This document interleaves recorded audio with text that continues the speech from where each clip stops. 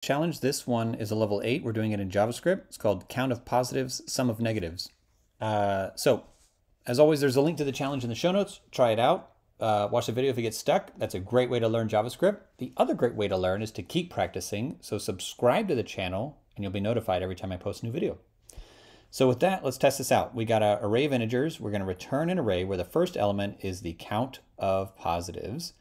Um, so we'll do, uh, let's do a variable here, let count equal zero. So that'll be the number of positive numbers. Um, and then the second element is the sum of the negative numbers. So let's do uh, count of positives, and this will be sum of negatives. Okay, so let's, the input is going to be your array, uh, and then we'll return, once we do all our stuff, we're going to return the count of positives as the first item in the array and the sum of negatives as the second item. Okay, uh, so we'll set both of these uh, initialized at zero. And let's go for const n of input. So we're looking at each number in the array. And we're going to say if um, n is less than zero, then we want to say sum of negatives we're going to add this new negative number to that total sum, okay? Um, if, or so we'll do it else, or let's do a,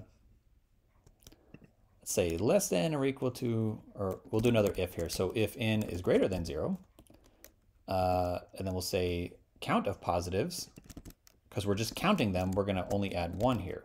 Okay, so we're keeping a running tally of those two.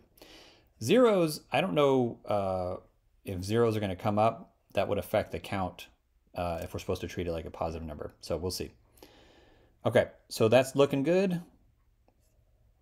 Ah, here we go. Let's see. Input is not iterable.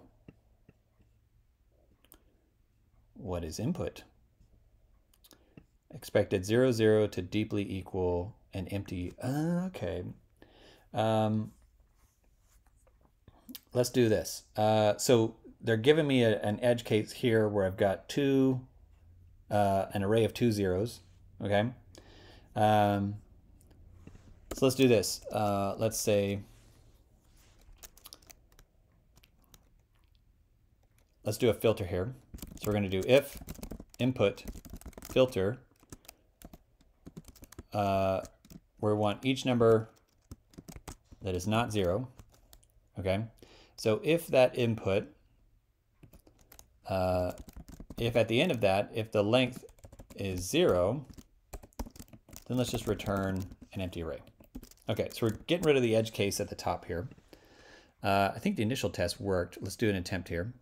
Ah, still getting it. Okay, cannot read filter of null. Okay. Huh. Okay. So another edge case here. So if uh, input is null, we'll return an empty array. Let's test this out. Okay, so a couple of edge cases here. Uh, this ain't very pretty, uh, but it's working, so we'll count it. Good job, y'all.